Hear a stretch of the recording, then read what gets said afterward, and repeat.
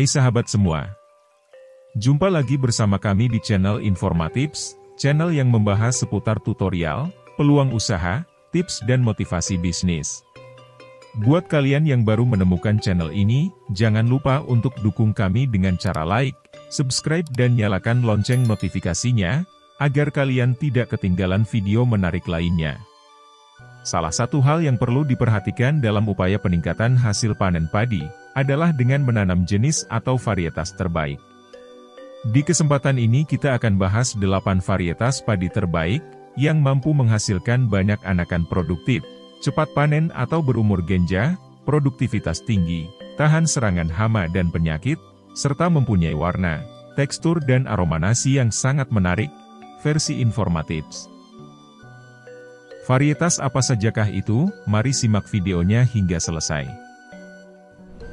Varietas padi terbaik yang pertama adalah padi Cakrabuana 04. Padi Cakrabuana 04 adalah varietas padi hasil persilangan antara padi Cakrabuana 02 dengan padi beras merah.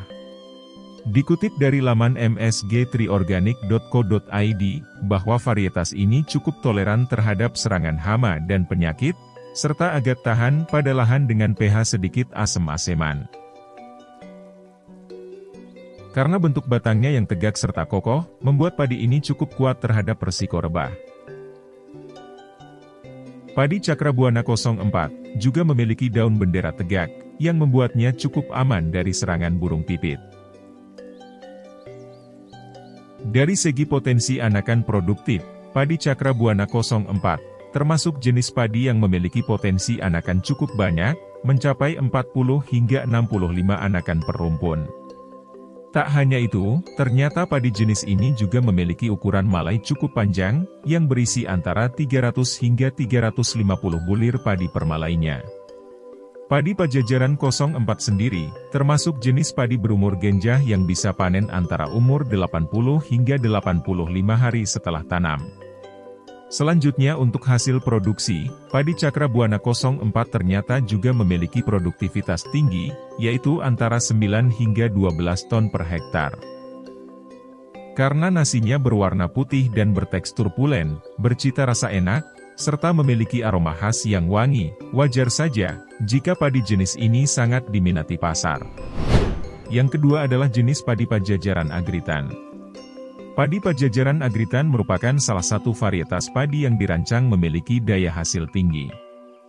Dikutip dari laman dpkp.jogjaprop.go.id, varietas ini adalah hasil persilangan antara padi Inpari 5 dengan padi IR66. Padi varietas Pajajaran Agritan memiliki kemampuan cukup optimal dalam menghasilkan anakan produktif, yaitu antara 30 hingga 50 batang anakan per rumpun. Tak hanya itu, padi ini juga memiliki karakteristik batang yang kokoh, dengan postur agak tega, di mana tingginya hanya sekitar 97 cm saja. Karena itu, wajar saja jika padi ini cukup tahan rebah, relatif aman dari serangan hama wareng batang coklat biotip 1 dan 2, serta penyakit hawar daun bakteri, strain 3. Padi varietas Pajajaran Agritan adalah varietas padi berumur genja, yang dapat dipanen hanya dalam waktu 85 hari setelah tanam. Potensi panen padi jenis ini juga sangat tinggi, mencapai 11 ton per hektar, dengan rata-rata hasil, sekitar 7,8 ton per hektar. Berikutnya yang ketiga, adalah padi Inparisidenau. Varietas ini terbentuk dari hasil radiasi benih induk lokal, yang menghasilkan varietas baru, dengan sifat yang lebih baik. Padi ini memiliki umur panen cukup singkat, yaitu sekitar 103 hari sejak semai atau hanya sekitar 80 hingga 85 hari setelah tanam. Dengan ukuran malai yang cukup panjang, di mana permalainya rata-rata berisi antara 250 hingga 400 bulir, membuat padi jenis ini memiliki produktivitas cukup tinggi, mencapai 9 hingga 12 ton per hektar. Tak hanya itu, ternyata padi jenis ini juga relatif tahan, terhadap hama wareng batang coklat dan penyakit hawar daun, yang seperti kita ketahui sering menyerang tanaman padi. Sedangkan untuk kualitas nasinya sendiri, varietas padi Sidenok memiliki tekstur nasi yang cukup pulen serta cita rasa enak. Selanjutnya keempat adalah jenis padi M70D. Padi M70D merupakan jenis padi super genjah, dengan usia panen yang sangat singkat, yaitu hanya sekitar 63 hingga 70 hari setelah tanam. Selain itu, ternyata potensi hasil panen dari padi ini juga cukup tinggi, mencapai 12 ton per hektar, di mana produktivitas rata-ratanya berada di angka 9,6 ton per hektar. Secara kualitas, nasi dari beras M70D juga tidak kalah dari jenis padi lainnya. Sebab, nasi dari beras M70D memiliki tekstur cukup pulen, dengan cita rasanya yang enak dan khas.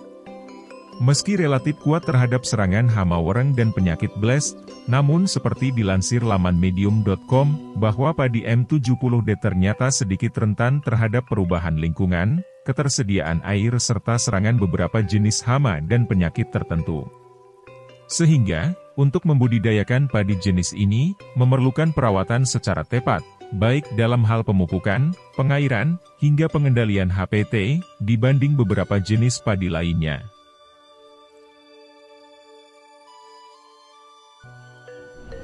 Kelima adalah padi SR Genjah. Padi Sri Republik atau biasa disebut SR, merupakan salah satu jenis padi yang cocok ditanam di lahan irigasi maupun tada hujan. Di mana padi ini cukup toleran terhadap penyakit blast, wereng batang coklat, kerdil rumput atau clover, dan juga jamur. Padi jenis ini juga mampu memproduksi anakan produktif cukup tinggi, yaitu antara 30 hingga 40 batang per rumpun. Padi SR Genja, memiliki ukuran batang cukup besar dan kokoh dengan postur sedikit pendek, di mana tingginya berkisar antara 80 hingga 90 cm, yang membuatnya cukup tahan rebah. Selain itu, ternyata padi jenis ini juga cukup aman dari serangan burung pipit, karena memiliki bentuk daun bendera tegak. Lalu secara usia, padi SR termasuk padi galur super genja, yang memiliki umur panen sangat singkat yaitu sekitar 73 hingga 75 hari setelah tanam. Ukuran malainya yang panjang, berisi antara 180 hingga 210 bulir, membuat padi SR Genjah berpotensi menghasilkan gabah cukup tinggi, yaitu antara 10 hingga 12 ton per hektar. Untuk kualitasnya sendiri, beras dari padi SR Genjah memiliki bentuk ideal berwarna bening tanpa kapur, dan setelah ditanak, menghasilkan nasi yang bertekstur pulen serta cita rasa yang enak. Kemudian yang keenam adalah padi sertani 14. Padi sertani 14, adalah padi berumur genjah yang dapat dipanen di usia 85 hingga 87 hari setelah tanam. Secara fisiologis, postur dari padi sertani 14, memiliki tinggi antara 95 hingga 105 cm. Menariknya, karena bentuk batangnya yang kokoh dan kuat, membuat padi jenis ini cukup toleran terhadap serangan hama wareng batang coklat, serta relatif kuat dari serangan penyakit blast, disbanding padi jenis lainnya. Selanjutnya, karena jenis padi ini juga memiliki bentuk daun bendera tegak, membuat padi ini relatif aman dari serangan burung pipit. Secara produksi, padi sertani 14 termasuk jenis padi yang memiliki potensi hasil sangat tinggi, di mana jenis padi ini mampu menghasilkan 14 ton gabah per hektar. Selain itu, secara kualitas, nasi dari beras padi ini ternyata memiliki tekstur dan cita rasa cukup unik. Sebab, banyak masyarakat yang mengatakan, jika teksturnya sangat mirip dengan nasi padang. Ketujuh adalah padi Trisakti. Padi Trisakti merupakan jenis padi yang memiliki beberapa kelebihan, di antaranya berumur genjah, produksi tinggi dan tahan hama penyakit. Postur tanaman padi ini cukup pendek, di mana tingginya hanya sekitar 80 hingga 90 cm saja. Karena memiliki daun bendera tegak, membuat padi jenis ini cukup aman dari serangan burung pipit. Tak hanya itu, jenis padi ini juga cukup toleran terhadap penyakit blast, kerdil rumput atau clover, dan wereng batang coklat. Padi Trisakti juga cocok ditanam di beberapa jenis lahan, baik pada lahan irigasi, maupun lahan kering seperti sawah tada hujan. Padi Trisakti juga memiliki usia panen cukup singkat, yaitu sekitar 75 hari setelah tanam, di mana produktivitas rata-ratanya sekitar 9 ton per hektar dengan potensi panen hingga 11 ton per hektar. Dari segi kualitas, nasi dari beras Trisakti juga memiliki tekstur pulen bercita rasa enak, membuat beras jenis ini cukup diminati pasar. Kemudian yang terakhir adalah padi Srikandi Jumbo. Padi Srikandi Jumbo merupakan salah satu jenis padi lokal yang memiliki banyak kelebihan seperti layaknya padi unggul lainnya. Dari sisi jumlah anakan, padi ini memiliki potensi jumlah anakan produktif cukup tinggi, yaitu antara 25 hingga 45 batang per rumpun. Bentuk batangnya yang kokoh dan besar, serta posturnya yang sedikit pendek, membuat padi ini cukup tahan rebah, relatif aman dari serangan hama tikus, wareng batang coklat, serta kuat terhadap ancaman patah leher dan bles.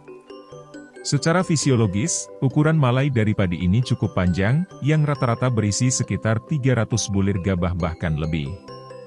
Bulir padi ini sebenarnya bisa dikategorikan masuk jenis premium, sebab memiliki bentuk agak lonjong dan berukuran relatif besar, serta bobotnya cukup berat, menyaingi padi varietas unggul, seperti Inpari 32.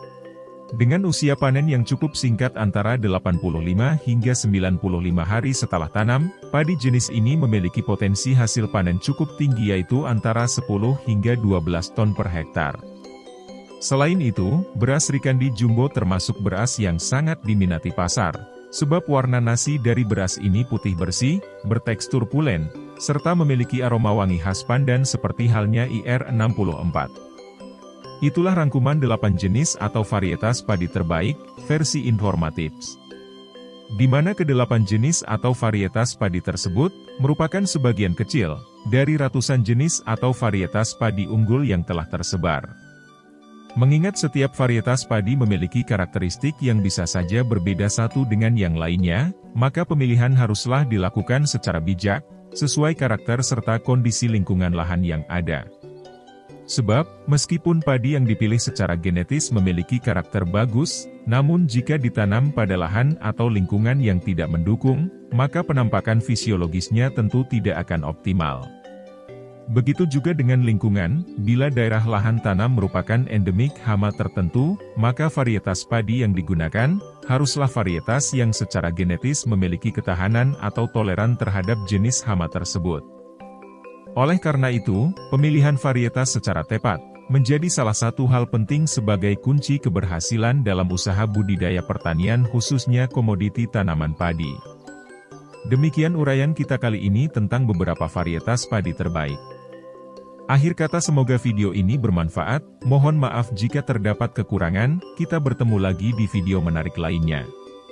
Tetap semangat, salam sukses dan sampai jumpa.